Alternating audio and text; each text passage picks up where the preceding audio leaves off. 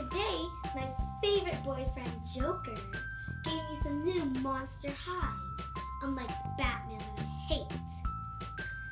So he uh, he gave me these new six, six inch rivals of the Monster High world, and Gooliope, the 12 inch stone. I love this one. So happy. So let's get opening.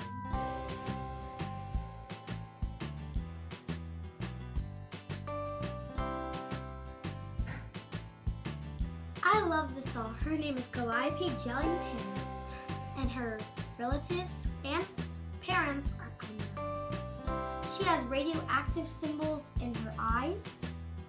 Her dress is puffy and fits her. Her hands are also droopy, both of them. And she's wearing those arm things where they put, where masters put them on, ring masters. And her ears are nice wheels. This is Pix's Prep Stocking. She's a part of the Frightmares collection.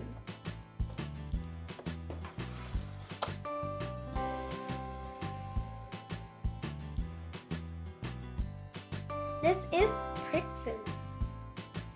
She has pink hair and a ponytail, which I love. Her hands are pink.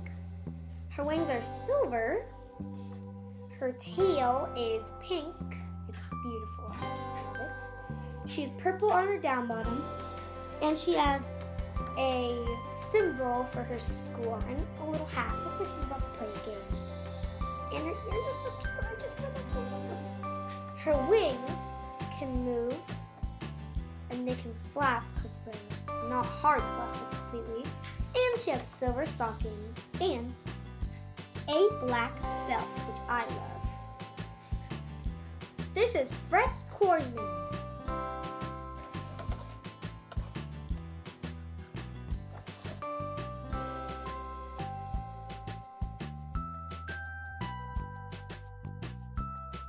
This is Frets, and Frets is beautiful.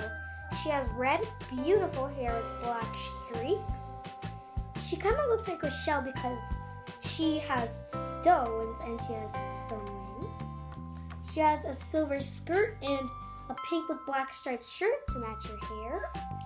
And a pink, it's gray faded down to pink on her tail. Looks like Lagoona's. And black thing, a black flowers on her tail. She also has zebra stripes right here where her symbol is supposed to be. And pink leggings. Thanks for watching All About the Toy channel. Don't forget to subscribe. Make sure to watch more of my videos and Monster High videos. Bye!